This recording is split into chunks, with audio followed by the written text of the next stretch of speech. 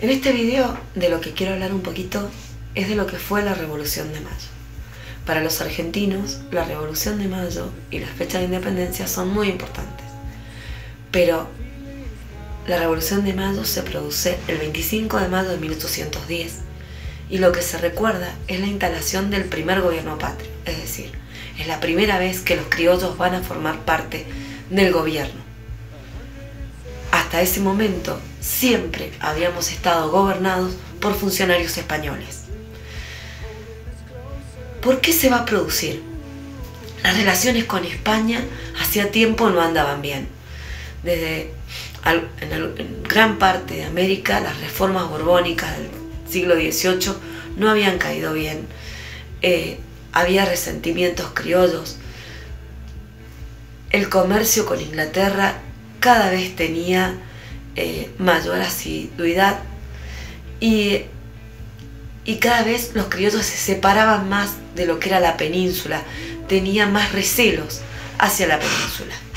En 1808, la península ibérica había recibido la invasión de Napoleón Bonaparte, quien, buscando castigar a Portugal porque había hecho caso omiso a sus amenazas de invasión y había continuado comerciando con los británicos, enemigos de los franceses, eh, pasa con sus tropas por España para invadir Portugal. Pero esto lleva a una sucesión de hechos en donde el rey español Fernando VII termina preso y en el trono de España Napoleón Bonaparte instala a su hermano José Bonaparte. El pueblo español no tomó bien esta medida y organizó juntas populares en nombre del rey prisionero. Todas estas novedades se conocían en América, pero en 1810, más precisamente el 13 de mayo de 1810, flotas mercantes llegan a la zona del Río de la Plata y se conocen nuevas noticias. Estas era que la Junta Central de Sevilla, la junta más importante que existía en España desde la ausencia del rey Fernando, había caído en manos francesas. No está claro qué barco lo trajo. Si alguna bibliografía dice que el John Paris y otras dicen que el Mittelstone pero lo cierto es que las noticias llegan que el virrey Cisneros, que era el que estaba al frente del virreinato del Río de la Plata, instalado en Buenos Aires, que era la capital, y que había sido nombrado por la Junta Central de Sevilla, que era la que acababa de caer, no da a conocer estas noticias. Cuando se entera que es el rumor que se corre en Buenos Aires y que hay mucha gente que sabe las novedades, decide hacer un manifiesto, una proclama, en donde informa lo sucedido y a la vez calma los ánimos diciendo que una invasión francesa a esta zona era muy difícil, que no se iba a producir. Y que en caso de no llegar a una solución, se iba a poner de acuerdo con los otros virreyes que existían en América para tomar una solución y imponer un gobierno en esta zona. Los patriotas han conocido la novedad, han hecho reuniones secretas en distintos domicilios particulares en la noche, como era la casa de Martín Rodríguez, o la de Rodríguez Peña, o la jovenería de Vieites, y van a decidir ir hacia el alcalde de Sica y pedir un cabildo abierto. Antes de dar la autoridad, el alcalde de Sica se lo comunica a Cineros, y Cineros, antes de decir que sí, va a convocar a los jefes militares, que eran Saavedra y Martín Rodríguez. Ambos se niegan a apoyarlo.